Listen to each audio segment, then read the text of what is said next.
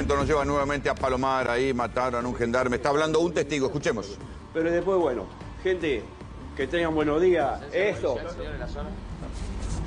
pasa por ahí el móvil, pero ¿sabés qué pasa? Que esto es alboreo. Esto es un segundito, te descuidaste y te llevaron puesto. Están yendo los vecinos, se ven muchos carteles en venta. Y te estoy diciendo, esa casa estaba en venta, la vendieron, la compró gendarme y ahí está, lo mataron. Bueno, señor, usted... No, no, no era. Yo estuve el otro día con las chicas de acá de la esquina, con una gente que vino nueva también, que estaban cortando el patio y me contó que era un gendarme nuevo. Yo soy hijo de gendarme, así que... O sea, que le, le- le duele más. No había llegado a mudarse este hombre todavía. Estaba, dice que estaba arreglando la casa, que estaba haciendo, este, que estaba eh, parte electricista. Eso yo no lo sé. Lo único que sé que vi que de acá le tiraban así. Usted vio todo, en ese momento vio Yo todo. lo vi. Yo lo vi, lo que pasa es que de allá, viste, no es que se... Usted se salvó también de milagro, porque un balazo le podría haber ido a usted. Si el coche doblaba para allá, me enganchaba a mí en la puerta de mi casa. Estaba en la misma línea de tiro. Era, fíjate, fíjate ya, mira, 40 metros. Para gendarme. Dándole para La verdad que fue una... ¿Ya había perdido la vida cuando estaba tirada, cuando usted lo Estaba vio? boqueando, ¿viste? Pero salía sangre por la boca, por la boca. Después fue todo lo, fue un mundo acá, de gendarme, de policía, de todo, pero bueno, ya era tarde. Estos hijos de puta vienen, están, pasan, porque estuvieron dando vueltas. ¿Cuánto hace que vive acá, señor? Yo que vivo, mira, conozco la casa. Ve- 20 años que vivo y 30 de la casa. Antes, estar cerquita de la autopista generaba que su propiedad se valorizara. Ahora parece que es al revés. Ahora, ahora estamos todos quietitos, pero mucha gente que se fue del barrio. Por ejemplo, el vecino que le vendió la casa a Eh, gendarme. claro. Eh, cuando hicieron la, acá en esta, ca- en esta casa se reunieron para hacer las cámaras. Y bueno, y esa gente se fue, que era uno de los que querían poner cámara. Ya no pasa más nada, la cámara es porque vos lo estás viendo, pero después ya no pasa más nada. La cámara es, es un, para que ustedes tengan esto, pero después no pasa más nada. Usted hablaba que hubo antecedentes en el barrio. Mataron aquí a la vuelta a un vecino. Allá mataron un, taxi- un taxista por la mitad de cuadra, anda a averiguarlo. Y acá mataron, acá a la vuelta, que aquellos camiones eran de lechero, de un lechero. Años. No, no, aquel, aquel sí, aquel sí. Después es un peligro por todos lados. Acá a la vuelta, si podés ir, hay una gente que ayer me vino a decir que para robarle. A mitad cuadra lo mismo. El otro día, un tiroteo en la otra cuadra. No, es tremendo. es Ahora, tremendo. no hay medida de seguridad que interrumpa esta posibilidad de que venga a cualquier momento alguien con un arma y lo robe. Cualquier momento viene y te lleva. Yo me fui un viernes a La Rioja, el lunes me habían robado mi casa. ¿Cómo lo entendés? ¿Y usted se quiere ir de aquí? Yo no, ya estoy, ¿qué me voy a hacer? Ya, me- ocho veces me robaron. Ocho veces. Ocho veces me robaron. ¿Eh? Te puedo ¿De la decir. Intendencia, de la gobernación, hubo alguna respuesta? ¿Un Yo contacto? ayer no vi a nadie. Vino la policía, como corresponde, vino la, gendar- la gendarmería, porque era de, de- de- de ellos, pero después nadie. Pudo ver si tenía un impacto de bala, más no. Yo vi que tenía acá abajo, cuando le estaban haciendo la, la que le hace. Le, le. ¿Cómo es? Debajo de la axila. Sí, que tenía. Sí, nos venía contando. Sí. Debajo de la axila.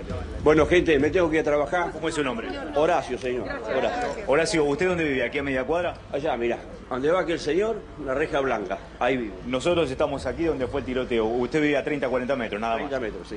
30 metros. 30 metros, fíjate dónde está, dónde está parado aquel señor allá. 30 metros, 40 metros. Así que de acá, con ese revólver, seguro que me podían haber tirado. Seguro, seguro. Tuvimos suerte, salimos corriendo para la esquina y volvimos. Y el señor estaba viniendo a la casa para refaccionarla. El señor dice, el señor había parado acá en la esquina.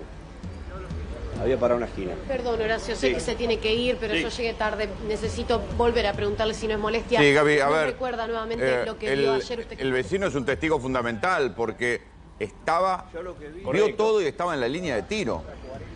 Y además, testigo fundamental Correcto, porque acá. dice cómo, Ahí nos estaba diciendo. cómo, cómo robaron en los últimos días. Y él, él mismo dice, yo a mí me robaron ocho veces. Claro.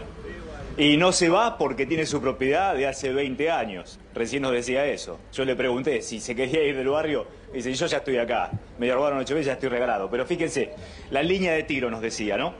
Acá están las manchas semáticas. La vamos a mostrar solamente un poquito y así nomás. Están las manchas semáticas donde cayó el gendarme, ya malherido de muerte. Fíjense que lo que nos estaba diciendo este vecino es que esta es la línea de tiro, ¿verdad? Yo estoy aquí y él vive a donde está el volquete aproximadamente. Es decir, a 40 metros, 30 metros menos de donde estamos nosotros. Así que fíjense si un balazo no le pudo haber pegado a él, que estaba circunstancialmente ahí. O, como él dice, si el auto doblaba hacia esta calle, lo agarraba él también.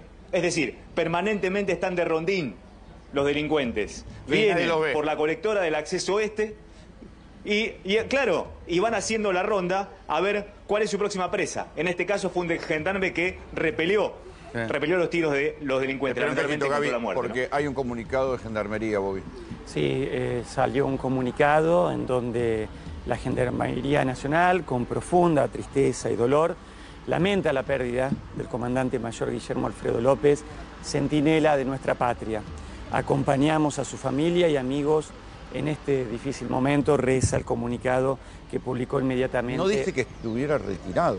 No, no, o sea no que da era un comandante mayor en actividad. No, y además, este, te digo, en esta zona, viste que el señor que también daba el testimonio, un testigo clave del hecho, este, yo también soy de gendarmería, el gendarme allí que acaba de comprar una vivienda, eh, es un lugar donde en una época, si yo te digo que sigue siendo muy lindo y era muy tranquilo para vivir, los delincuentes no se animaban, hoy la delincuencia está descontrolada, pero allí en el Palomar hay una brigada aérea y hay un barrio militar de cuando existían planes de fomento de otras épocas. Está el colegio para- militar. claro. En la estación está el colegio militar. Entonces, era zona que por estar regada de muchísimos habitantes eh, que tienen este, formación y carrera militar y armas. y armas, Y armas en la casa. hasta los delincuentes no se animaban. Luego todo cambió y hoy es un triángulo de las Bermudas muy, muy difícil porque recordemos la imagen de la derecha, no muy lejos de allí, en inmediaciones del barrio Ejército de los Andes, los delincuentes quemaron y prendieron fuego el vehículo